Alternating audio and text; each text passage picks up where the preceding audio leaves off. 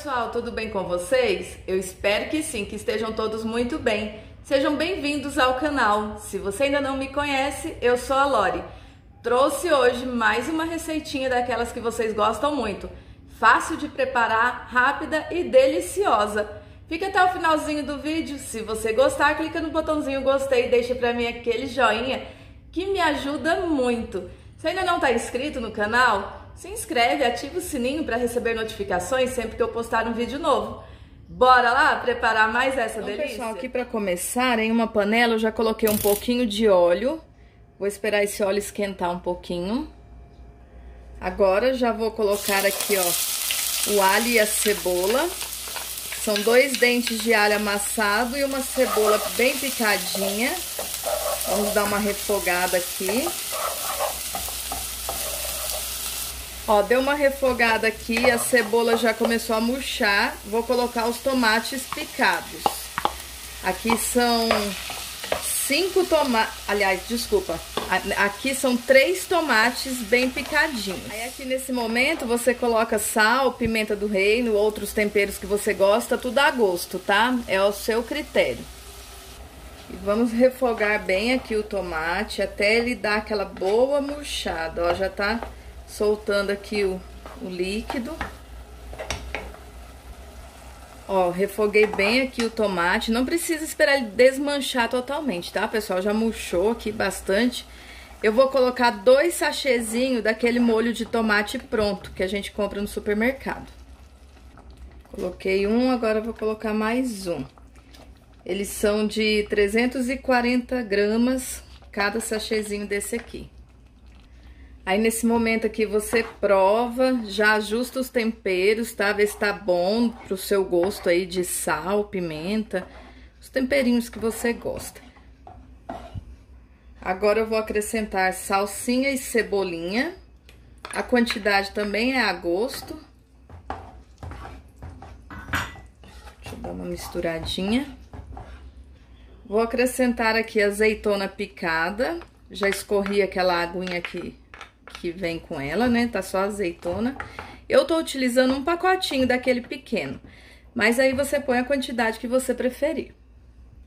E agora eu vou acrescentar uma caixinha de creme de leite, mas é totalmente opcional. Se você não gosta ou não tem, não precisa colocar. Então, eu misturei bem aqui o creme de leite e já tá prontinho aqui o nosso molho. Bem rápido, bem fácil de preparar e delicioso. Vou desligar aqui Pessoal, o fogo. Para começar, eu coloco um pouco desse molho aqui no fundo da travessa. O molho que nós acabamos de preparar. Não precisa ser muito não, tá? Vou espalhar bem aqui. E agora, nós vamos espalhar o macarrão. Esse macarrão aqui não é o ninho, tá? Esse aqui é o cabelo de anjo, que ele é mais fininho e ele cozinha com mais facilidade. Então, eu espalhei o macarrão aqui. Agora, eu tenho aqui rodelas de tomate que eu vou vir colocando entre um, um macarrãozinho desse e o outro. Venho colocando assim. Ó, então, eu encaixei aqui as rodelas de tomate entre um macarrão e o outro. E aqui, ó, eu tenho queijo mussarela que eu cortei em pedaços, assim, cubinhos. E eu vou espalhar esse queijo aqui, ó, dentro do, do macarrão, ao lado, tá? E você coloca aí a quantidade que você preferir. Eu tô utilizando aqui 250 gramas de queijo mussarela. Eu vou colocando assim, ó. Então, pessoal, espalhei bem aqui o queijo. Agora, eu tenho aqui 150 gramas de bacon.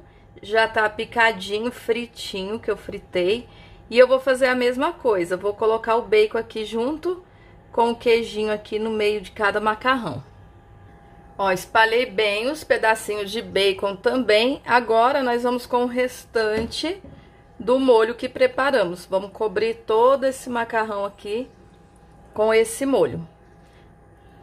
Olha só, gente, imagina que delícia. Então, aqui, ó, eu cobri com todo aquele molho. Vou pegar os pedacinhos de queijo que sobraram. Vou espalhar aqui por cima desse molho. Ó, agora eu vou espalhar um pouco de queijo ralado, mas é opcional, se não quiser não precisa. E para finalizar, bastante orégano. Se você não gosta, também não precisa colocar.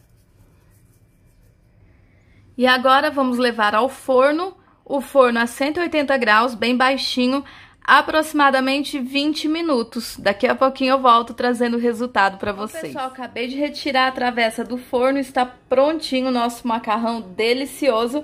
Eu vou ficar aqui degustando essa delícia, vou deixar vocês vendo aí o resultado. Espero muito que tenham gostado dessa receitinha. Não esquece, se gostou, clica no botãozinho gostei, me ajuda deixando o seu joinha, que é muito importante para o crescimento do canal. Se ainda não está inscrito, se inscreve, ativa o sininho para receber notificações sempre que eu postar um vídeo novo.